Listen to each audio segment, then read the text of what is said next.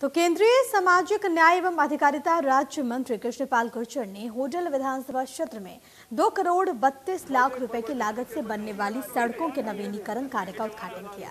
इसके बाद एक करोड़ नब्बे लाख की लागत से नहरों पर बनने वाले तीन पुलों का उन्होंने उद्घाटन किया। इस मौके पर हरियाणा भूमि सुधार आयोग के चेयरमैन एवं होटल के विधायक जगदीश नायर मौजूद रहे। अभी मार्केटिंग बोर्ड की तीन सड़कों का आज हम नवीकरण का काम शुरू कर रहे हैं जो अभी तुमसरा से और सोला का रेलवे स्टेशन वाया रायदास का। ये गुदराना। ये सवा करोड़ की लागत से है। ऐसे ही दो सड़कें और हैं। खांबी से डकोरा और भिड़ुकी से यूपी बॉर्डर। लगभग दो करोड़ बत्तीस लाख की लागत से सड़कों का नवीकरण किया जाएगा।